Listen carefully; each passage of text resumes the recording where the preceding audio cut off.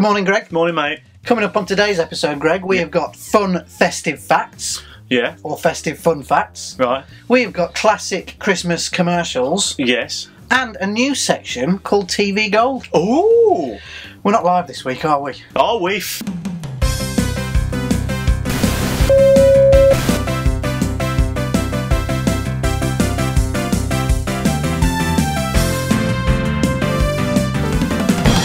So that was fun going live last week, wasn't it? Oh. So much fun. We're going to do it again, aren't we? Oh. After Christmas at some point. We had fun, didn't we? I loved it. Yeah. So sorry, I'm just going to interrupt the uh, program here because that's you. Uh, my wife. Uh, All right, Pen. Right, Pam, uh, has given us two presents and she's asked us to open them live on well not live because we're not live but it's live recorded so Sal I'm, I'm wondering To Jason, I love you.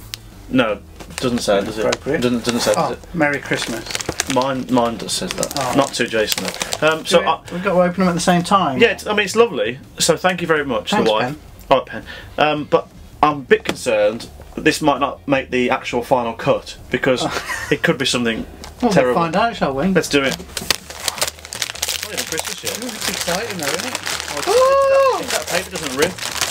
Greg! Oh!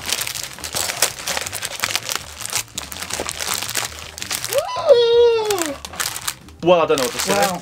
She's nailed that, hasn't she? Yes. She's got you a Goonies and me a Thundercat.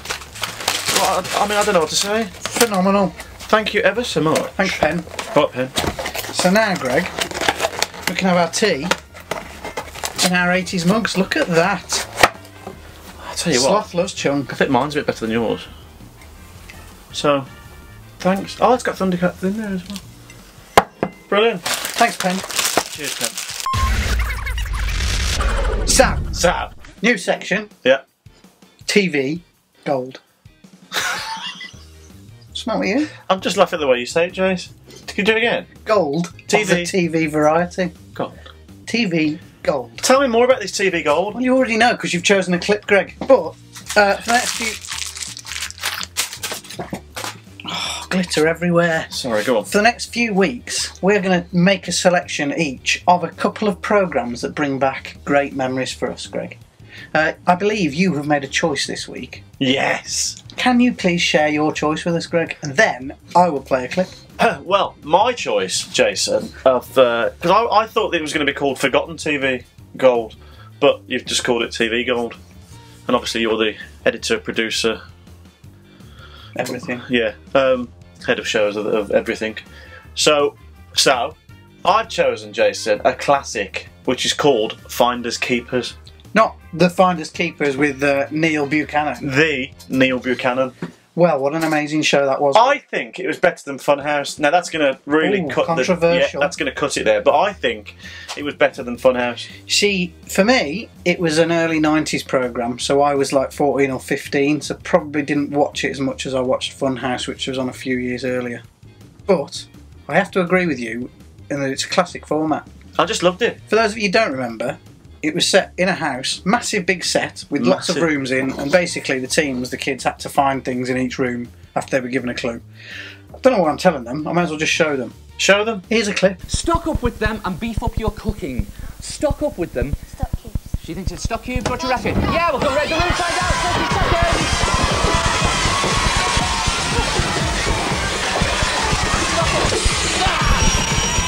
It's not carrots, is it? Stock, you got about 15 seconds left. Stock up with them and beef up your cooking. No! Raid everywhere! Raid everywhere! Got two seconds! Stop the clock! Oh, stop the clock, we're out of time! Look, you're gonna kick yourself. Let's have a look at it. Stock up with them. Beef up your cooking. Yes, it is, of course, a stock cube. Finders Keepers, Greg. That's Brilliant. that's a good choice. Thanks, mate. It's a classic. I bet loads of people are going, oh yeah, I love that show. Well, mine goes back a few years before that, Because you're older than me. although I think it was still on into the 90s. 20 years. It gets more every week. um, it was hosted by somebody who, at the time, I wasn't all that keen on, but since I've grown up a lot, I think that he's a genius. Hosted by Bob Monkhouse, Greg. Oh, the genius. Yeah. We've always said that, haven't we? You either loved him or you hated him. Yeah. There's no one who thought he was all right. And I don't think he really appealed to you as a kid, but as you got older, you can really appreciate how clever he was. I've met him. Have you? Hmm. Since news, Greg? You don't know that? No. I've met him, yeah. Where? My brother went on uh, Opportunity Knocks Oh, and I got to meet him. wow. And he came over and shook my hand. I was about six. Funny, I remember that clearly as well. Well, of course you do. You met Bob Monkhouse. Anyway, Yeah, but he wasn't like Lion-O, was he? Because that's all I cared about at the time. It wasn't David Hasselhoff. oh, I did- exactly. So my program, so, so. my program, Greg, is Bob's Full House, Yeah! the quiz show based on bingo. My mum would love that. Yeah, Yeah, I love Uh, that show. I loved it and love it even more now. And there are lots of full episodes on YouTube if you want to watch a few. Um, and here's a clip of Bob's Full House for you. And it's Kath. Twenty-one pounds. You just won this round of the game. Well done, Kathy. Have a look over here. There's the colour TV. There's the uh, instant camera setup. There's the beautiful lounger. Beautiful girl. You can't have her. You wouldn't want to take her home except as a friend. What would you like, dear? I love the TV set, Bob. The please. TV set belongs to you. Want a winner now, and the winner who gets every single number on the bingo card lit will have a choice of the superabundance of saleables. And for the full house, Bob, a mini stack hi-fi system. His and hers sheepskin coats. Or one of the very latest gas cookers. Yeah, sounds good. So you know you've met Bob Monkhouse when you're Bob. with your brother. Yeah. Well, I've met your brother. Yeah. So does that mean that I've met Bob Monkhouse as well? No. Oh. Anyway, that was Bob's Full House, a classic. Was? Good choice, Jace. Next week, two more classic shows, Greg. You'll have to start thinking about your clip now. I like what we've done there. There's one for the younger generation and one for the slightly older generation there. See what we've done there? Yeah, see what we've done. It's good, isn't it? I like that section, Jace.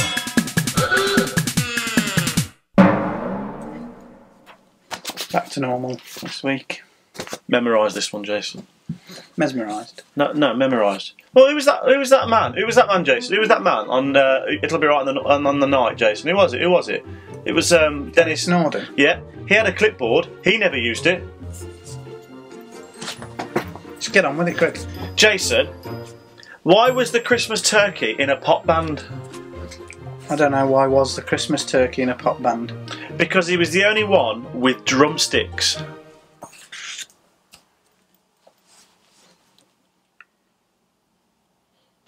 I mean, not only is it not funny, but it's not true, is it? What about the chicken?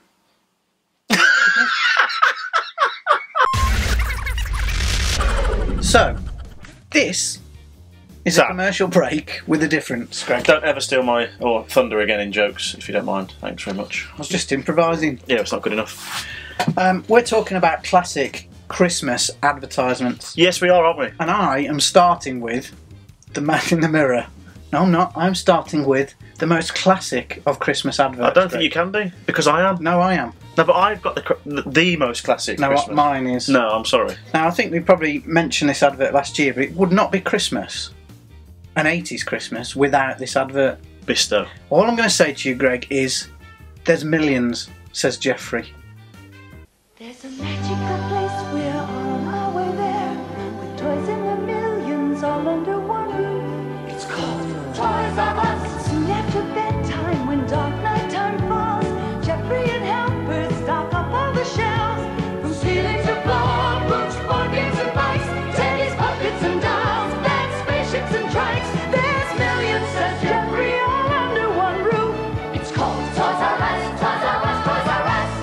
Well done, mate. Thanks, it's classic, isn't it? Yeah. The classic of classics. I think it's up there. I don't think it's the ultimate classic. I think it is up there, at the top. Well, can I suggest one that is probably level with that one then? You can have a go. What would you think if I said holidays are coming, Jason?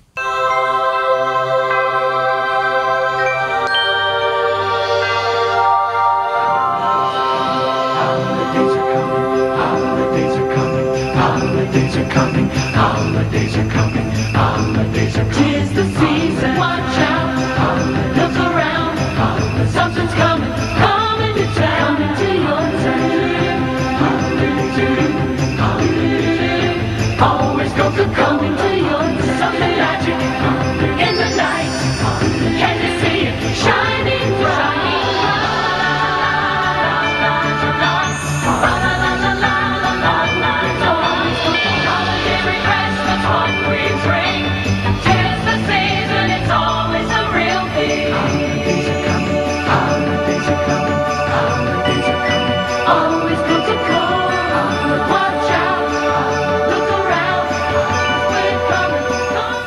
Mean, I cannot argue with you. It is a classic of TV Christmas adverts, but I just don't think you can beat the Toys R Us ad. I think the Toys R Us meant more as kids, didn't it? Yeah. Whereas the, the And- it was just a Coca Cola, wasn't it? So I don't know if the Coca Cola advert was on in the 80s. If it was, it was late 80s, into the 90s. Holidays are coming. yeah, I think you're right. Yeah. Yeah, yeah. Yeah. I, uh, I, I actually agree with you. I think the Toys R Us one because you knew that. I know it's not right, is it? I that was the real Christmas advert, wasn't it? Especially like I said, being a kid, it was the it was the ultimate. Do you know what is really strange about that? I don't think my parents ever went to Toys R Us once. No, in actual fact, I went there a few times and it was rubbish.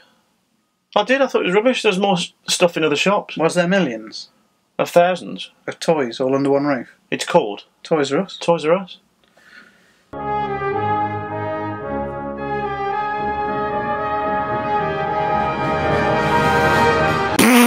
Jurassic Farts. What number are we on, Greg? Six. Six. Here we go. What is it? Uh, the edge. Do you want me to? yeah. Could you? It's it's it's the Archaeopteryx. Archaeopteryx, Greg.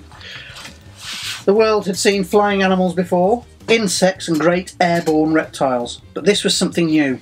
This was a bird. Archaeopteryx may have been the first of its kind, a feathered farter that soared through the sky with the help of flapping wings.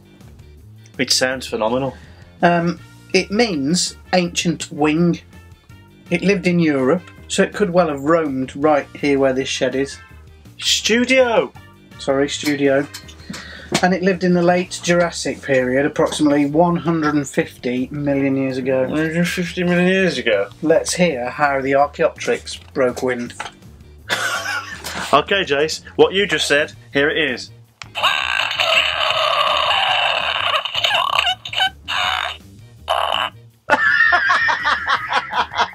That's a great ending. Should we do it again? Yeah.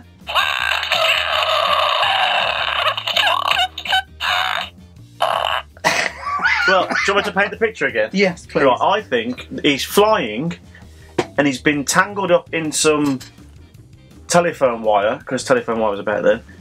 he Hit the fi- floor. he fi- no, he, yeah, he hits the floor, jumps up, flies away, and as he jumps up, he does that fart. Because you know when some people get up, they go, oh, and they do that noise. So I think that's what happened. So get that picture in your head, and here he is.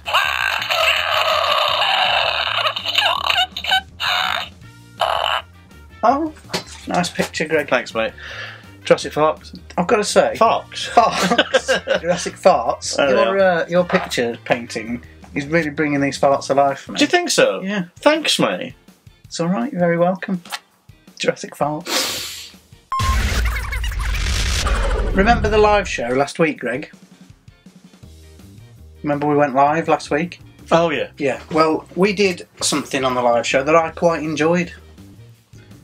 The TV listings thing, where we compared TV listings from this year to yesteryear. Yes. Yes, I like that as well. Uh, this little ensemble here, Greg, is from Saturday, the uh, 17th of December, 1988.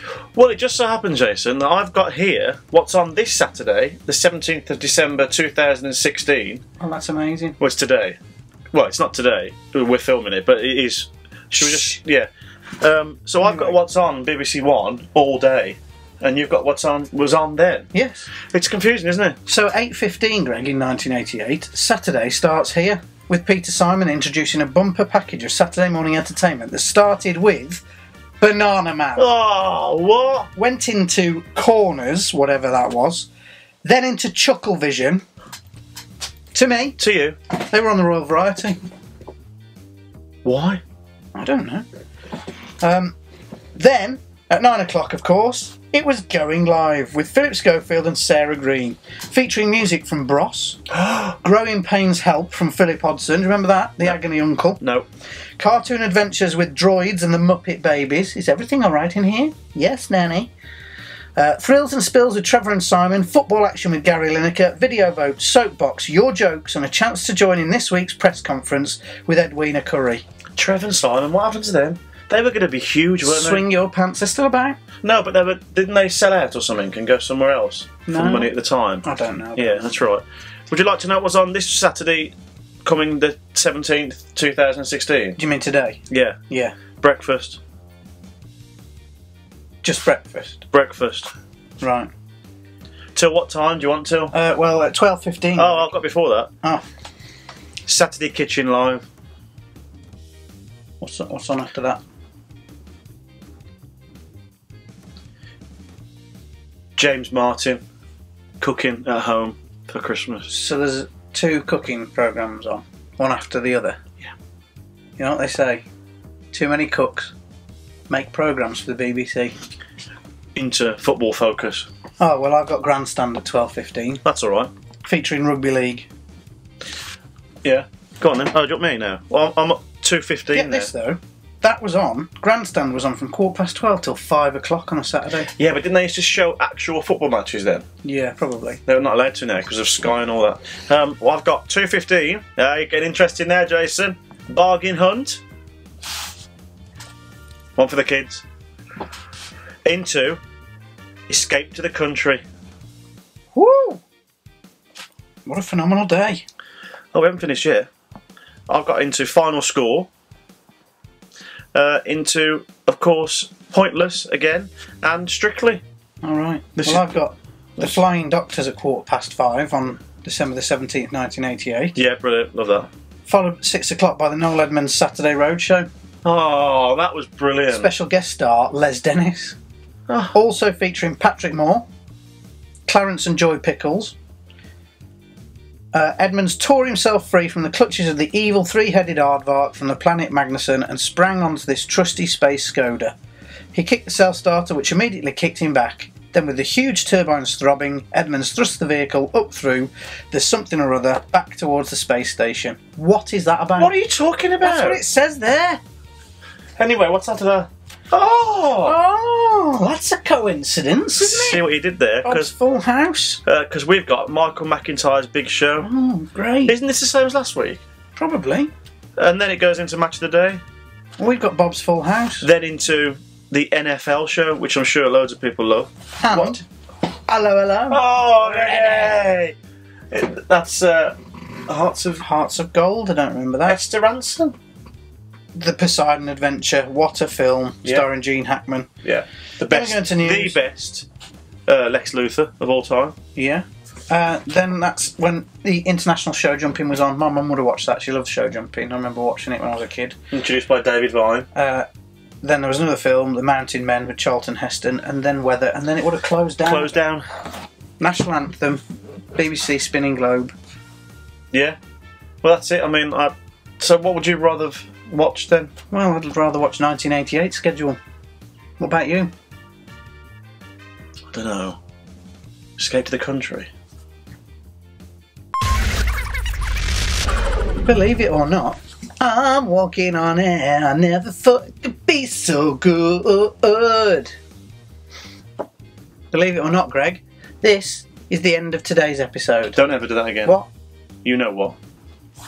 It's nearly Christmas, you know. I know. Are we having a big gap this year? No, Oh, so we're not No. having a break. no, So we're going straight through to New Year. yeah, Really? yes, Have you spoke to my manager? don't care. So, if you've got anything, Zap. so, if you've got anything to send us, please send it to our web address, email address rather, which is tnt at topgoo.com. That's turtnut uh, at turtgoo.com. Doesn't have to be in capitals. No, it doesn't. It's just the way that Greg has drawn it. Yes. Um, send us your pictures. Send us anything you'd like to send us to that email address. Not anything. Well, Don't think. Any, I mean, if they send anything, it could be anything, couldn't it? it's all right. Doesn't matter. Okay. Um, and we may feature them on the show coming up in the new year. In the meantime, we'll see you again next Saturday when it will really be almost Christmas, Greg. Excited? Grow up, Jason. You're 53.